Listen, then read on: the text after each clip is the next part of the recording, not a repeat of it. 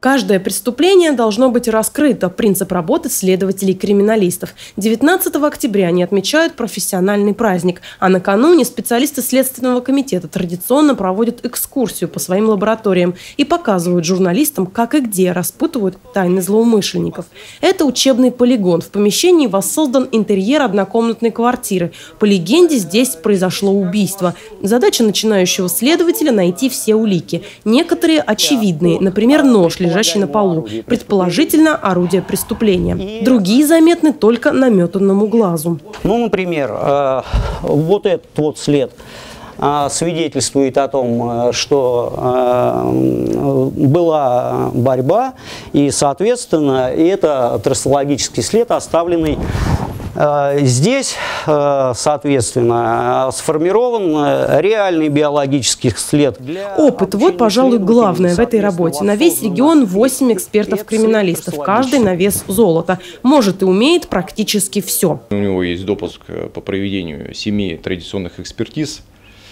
Это основные экспертизы дактилоскопическая, трассологическая, то есть по следам, по пальцам, а, экспертиза холодного оружия – метательного оружия, экспертиза документов, почерковеческая, значит, э, и экспертиза баллистика.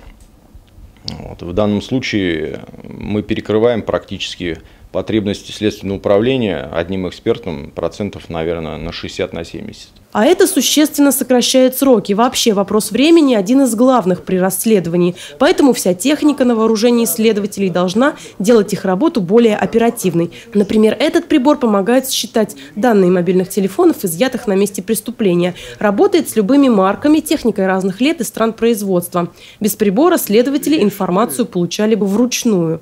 Криминалистика – работа аналитическая, скрупулезная. Иногда на месте преступления следователь находится сутками. Например, вот похищение несовершеннолетнего э, в том же самом Гавпосаде следственная оперативная группа работала на месте происшествия около двух суток. Обрушение жилого дома в Илинском, в поселке Илинское Хованское, которое было в октябре этого года. Также в течение нескольких суток работали на месте происшествия. В этой лаборатории самое дорогостоящее оборудование. В цианокрилатную камеру помещают предметы с мест преступлений. И благодаря химическим реакциям через 30-40 минут на них белыми узорами появляются отпечатки пальцев, невидимые прежде глазу. А этот метод определения отпечатков по старинке. Поверхность предмета обрабатывают специальным порошком. И вот уже виден отчетливый след. Затем специальной пленкой его фиксируют. Можно подшивать в дело. Но этот пример показательный только на камеру. На самом деле преступники тщательно скрывают следы преступлений. И таких четких отпечатков не оставляют. Научный прогресс не стоит на месте. Соответственно, и учатся этому и преступники.